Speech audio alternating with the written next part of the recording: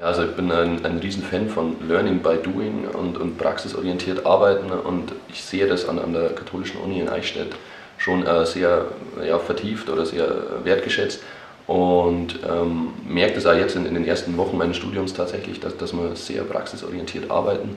und ähm, daraus entstehen auch Initiativen. Die Leute arbeiten zusammen, die, die machen was zusammen und daraus entsteht Engagement, daraus, äh, kann man sich, oder dadurch kann man sich mit der eigenen Uni oder mit dem Campus identifizieren. Daraus entstehen dann auch äh, Initiativen und, und man bewegt sich selbst im, im Campus, im Unileben und ähm, ja, so kann man sozial sich selbst engagieren auch.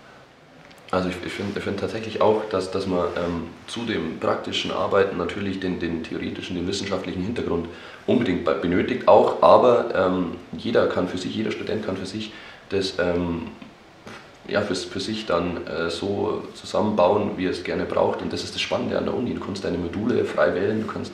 dich äh, für deine Interessen entscheiden und bist nicht an irgendwas strikt gebunden und ähm, kannst so ja, dich selbst äh, verwirklichen und, und, nicht strikt wie in einer Ausbildung, wo du deinen, deinen Ausbildungsplan hast und nach drei Jahren fertig bist, sondern bist bei der Uni frei. Du kannst äh, dich, dich praxis und, äh, praktisch und wissenschaftlich ähm, ja, so vertiefen, dass du dich selbst äh, verwirklichen kannst.